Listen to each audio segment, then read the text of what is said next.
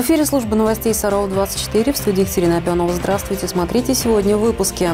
Вне зависимости от званий и должностей начались выплаты военнослужащим.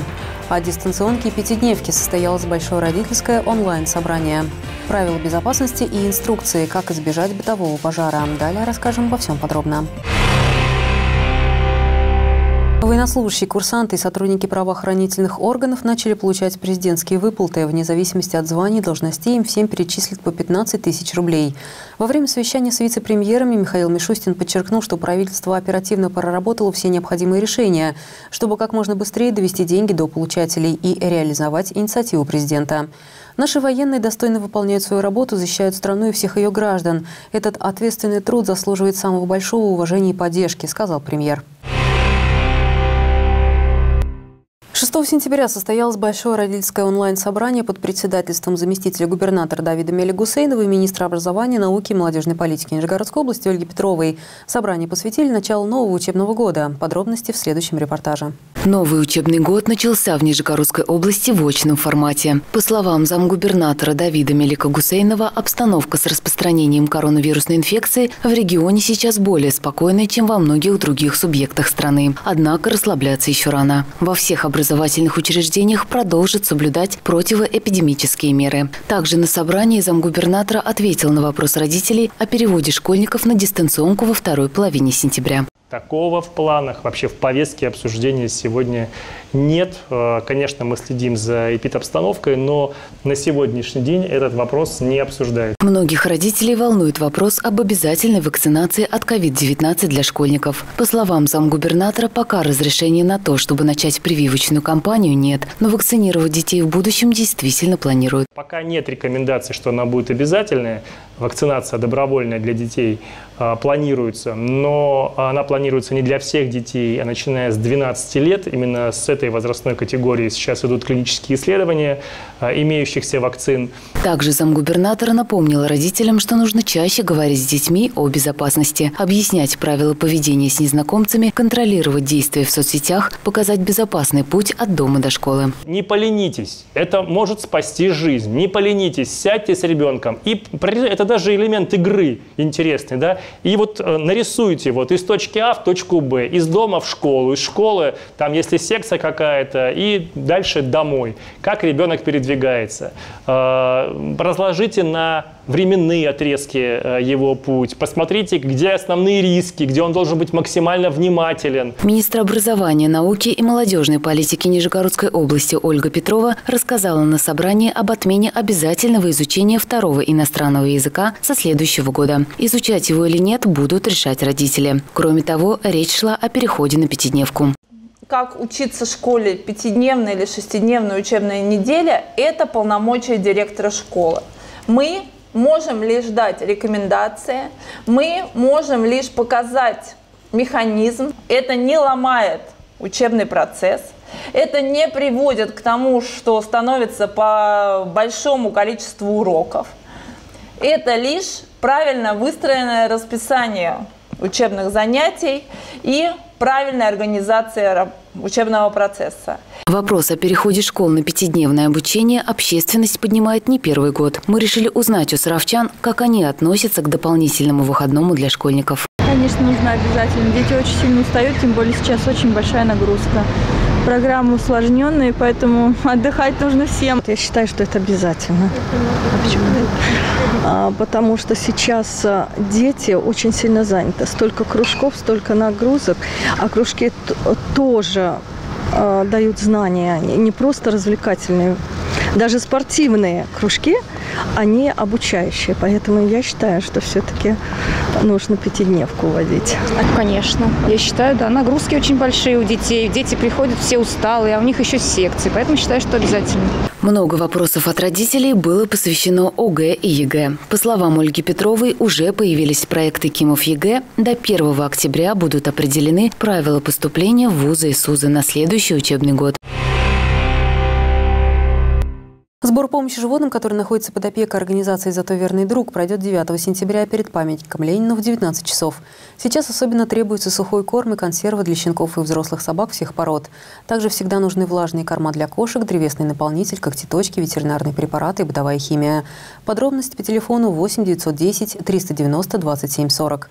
Другая важная информация в подборке коротких новостей.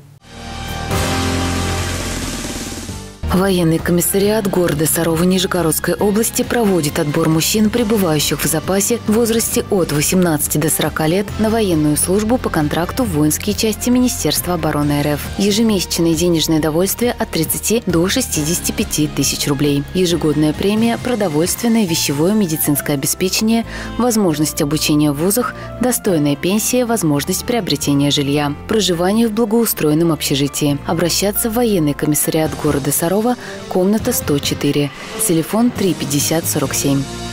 Спортивная школа Олимпийского резерва «Атом» по лыжным гонкам объявляет набор детей с 7 лет в группы начальной подготовки. Начинающие лыжники будут заниматься вместе с именитыми спортсменами, участниками соревнований российского и мирового уровней. Записаться и получить дополнительную информацию можно по будням на лыжной базе с 14 до 18 часов. Справки по телефонам 498 13 772 82. 15 сентября на стадионе «Икар» состоится чемпионат города по легкой атлетике. В программе бег на 100 и 400 метров, полтора километра для женщин и 3 километра для мужчин. Заявку на участие можно подать в главную судейскую коллегию за час до соревнований. Начало 18.30, вход свободный. Для лиц старше 12 лет. В ближайшее время россияне смогут получить доступ к электронной медкарте в личном кабинете на портале госуслуг. Об этом заявил глава Минцифры Максут Шадаев на оперативном совещании с премьер-министром России Михаилом Мишустиным. Уже в самое ближайшее время пользователи портала госуслуг в личном кабинете должны получить доступ к электронным врачебным назначениям, рецептам, результатам анализов, медицинских исследований и, в общем, ко всей медицинской карте, сказал он. По словам Шадаева, чтобы постоянно отслеживать состояние здоровья пациентов с хроническими заболеваниями, власти планируют широко внедрить телемедицинские сервисы и технологии, включая отечественные цифровые медицинские датчики мониторинга здоровья. Почти 46 миллионов россиян сделали хотя бы одну прививку от коронавируса. 39 миллионов граждан привились уже двумя компонентами вакцины. Об этом заявила вице-премьер Татьяна Голикова. Ранее она выразила уверенность в том, что Россия сможет достичь коллективного иммунитета коронавирусу осенью. Для этого, по ее словам, необходимо привить 90 миллионов человек. Клиническая больница номер 50 продолжает прививать от гриппа саровчан вакциной «Савигрипп». 9, 15, 16 и 22 сентября мобильная бригада сотрудников КБ-50 будет находиться на территории перед магазином «Пятерочка», бывший универмаг, с 10 до 12 часов, рядом с ТЦ Плаза на Московской с 14 до 16 часов. С собой необходимо взять паспорт и полис ОМС. Интервал между вакцинациями против COVID-19 и гриппа должен составлять не менее одного месяца. За минувшие сутки в России зарегистрировали 17 425 новых случаев заражения коронавирусом. Из них 391 в Нижегородской области. В Сарове за день заболели 7 человек. Из тех, кто госпитализирован, трое в тяжелом состоянии, двое в легком. Остальные в средней степени тяжести. Резкое похолодание застало саровчан врасплох. Столбики термометров едва превышают плюс 10 днем и падает до нуля ночью. Пока в домах не дали тепло, многие горожане активно используют электронагреватели.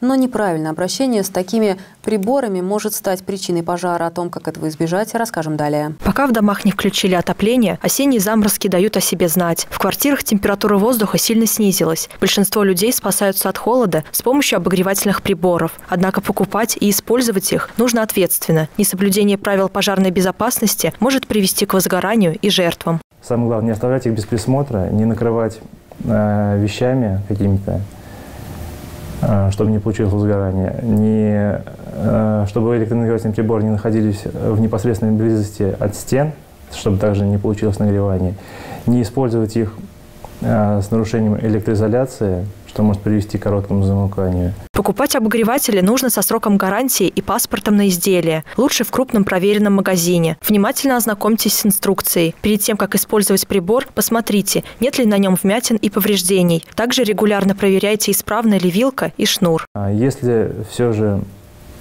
произошло короткое замыкание, то ни в коем случае не тушите водой данный электроприбор.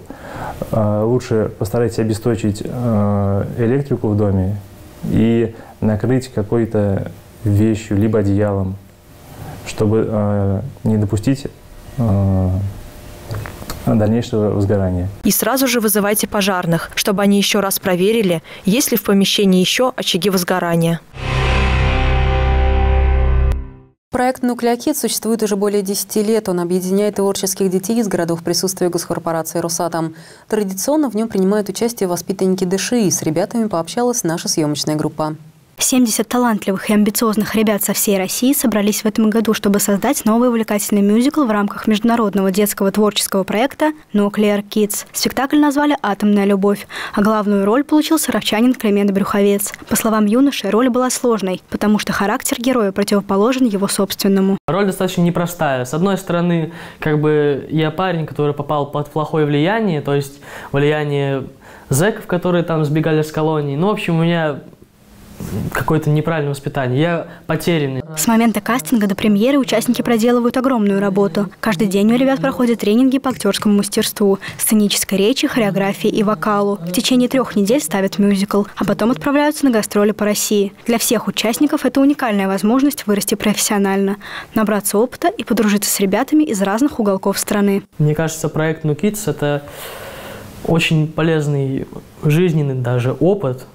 И вообще классная штука. Проекте приняла участие еще одна саровчанка Василина Афонина. Несмотря на то, что пройти кастинг очень сложно, девушка уже дважды смогла поучаствовать в проекте. В этом году ей досталась роль второго плана. Но Василина понимает, что этот опыт тоже важен и надеется в будущем сыграть еще не одну интересную роль. Я пробовала здесь с 10 лет. Потому что бывали такие случаи, что дети попадали в 10, но вот меня взяли только в 12. И в прошлом году я записала сольную песню, она вышла на всех вот музыкальных сервисах. А в этом году э, вот я уже второй раз старичок, и я играла роль, мой был дебют на сцене. Заключительные премьеры мюзикла прошли в театре Эдцетера в Москве. Но на этом проект не заканчивается. Климент и Василина планируют принять участие в традиционной постановке «Зимняя сказка», где смогут раскрыть себя по-новому, встретиться с друзьями и получить много положительных эмоций. Темный и светлый, чистый, с натуральными добавками на любой вкус и ото всех недугов. Десятки сортов меда свежего урожая вы найдете в торговом центре «Галактика». С 8 по 12 сентября там пройдет медовая феерия. Качество меда с пасеки пчеловодов Михайловых высоко оценили во многих городах страны, в том числе и в Сарове. Михайловы лично внимательно следят за тем, чтобы ассортимент лакомства удовлетворял каждого. Поэтому на медовой феерии можно найти достаточно редкие сорта. Например, дальневосточный шмелиный мед. Он насыщен полезными веществами и идеален для больных диабетом. Употреблять мед можно ежедневно в небольших количествах. Храниться дома продукт может долгие годы, не теряя своих свойств. Перед едой за 15-20 минут чайную ложку. В течение дня до 100 грамм можно употреблять. Это полезно для здоровья. Еще советский ГОСТ, температура хранения меда 18 градусов и в, тем, ну, в темном месте, то есть не на свету. Мед акации гипоаллергенен, поэтому употреблять его можно смело, как взрослым, так и детям. Также на медовой феерии мед с дягеля. Это алтайский мед, который улучшает работу желудочно-кишечного тракта и оказывает благотворное действие на суставы. И как любые темные сорта меда, такие как тот же хвойный или каштановый, помогает работе сердечно-сосудистой системы. На выставке есть липовый, майский, цветочный, высокогорный мед. Предложит вам и продукты пчеловодства. Пыльца, маточное молочко, настойка прополиса на воде и перга. Перга – это пыльцу пчела занесла в улей. Переработала, смешала с медом, с маточным молочком, с своими железами и заложила уже в соты. И уже сот она кормит детку свою и в основном матку она кормит. Такой интересный факт. Если матку пчела пергой не кормит, она сеет 500 личинок в сутки. Если кормит пергой, она сеет 2000 личинок в сутки. Не пропустите. Выставка «Медовая феерия» работает в торговом центре «Галактика» с 8 по 12 сентября с 10 до 18 часов. И это все, о чем мы успели рассказать сегодня. Следите за новостями города в группах канала 16, в социальных сетях ВКонтакте, Фейсбук, Одноклассники. Подписывайтесь на наш канал в Ютубе и смотрите все информационные выпуски, авторские программы в удобное для вас время. В студии работала Екатерина Опенова. Всего вам доброго и хороших вам новостей.